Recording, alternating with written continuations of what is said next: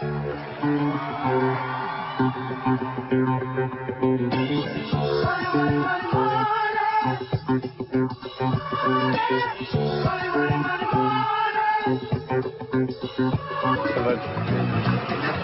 how you doing? Talon is here. Hey, I want to take you to meet Rebecca. I got pee on my hand. Glad to hear that. Go with me. Last night we made some calls. I found Pete Dominick. Pete is from the Gotham Comedy Club.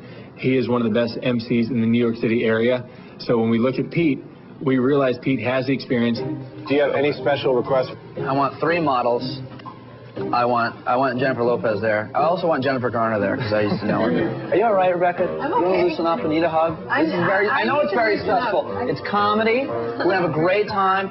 The best thing you did was booking me to host. I I, I can't tell you because I'm smooth. It's I gonna can't be wait. It's gonna be funny, and I. And I This is a very pressure-packed situation, and you just have to like follow your uh, gut and get things done. I have to make people like me, and I ha- they have to have a good time. Well, you're if they making don't, me I'll like go you home right and write in now. a journal, and it's it's gonna be great. I do this every night. We're rolling with the punches here and we're making this thing work and I'm really proud of my team. There's so many wonderful things about Yahoo that we've tried to incorporate into it. The Elizabeth Glaser Pediatric AIDS Foundation will really benefit from this night. So thank you so much. Enjoy. After Wenda, we're going to have uh, Pete jump in and just do a quick bit.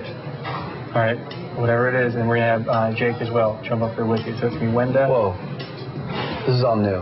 Okay. Let's definitely talk to I'm confused. Okay, now we want you up here on stage because you are the MC. All right. After she introduces Jake, she'll go ahead and go to you.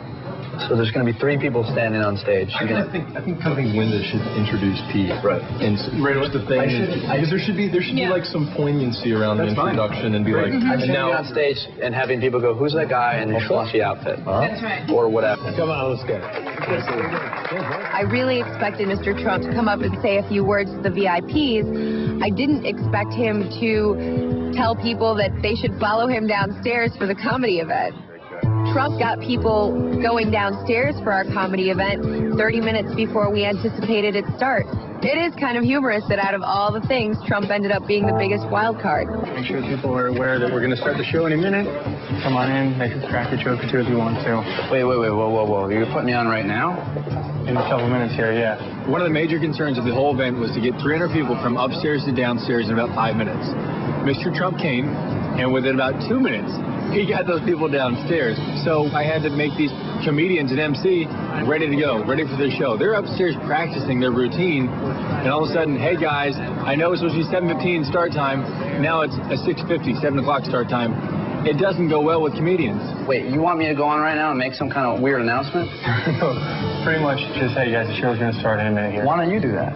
Okay, if you want me to. Yeah. Don't. You shouldn't see me before I go on the first time. Okay.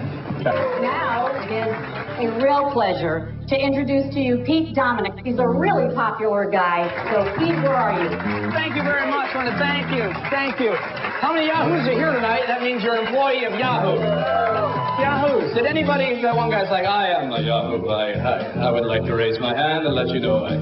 Uh, how many, did anybody have a Yahoo teeny? That was so cute that they named, yeah, it was good. You had a Yahoo teeny. It's a little bit feminine, I gotta, I gotta tell you. It's a little bit of a feminine drink. But if you're comfortable with your sexuality, sir, I don't think that's a problem. And you look like you are. You've been to Europe?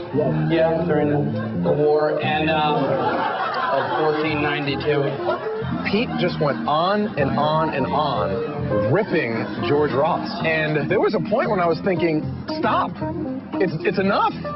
The man has laughed. You, you've, you've, you've effectively ripped this, this man who is judging the outcome of my team leader. Stop ripping George Ross. He's laughing. It's okay. It's a smile that I know he's going to kill me. But Hey guys.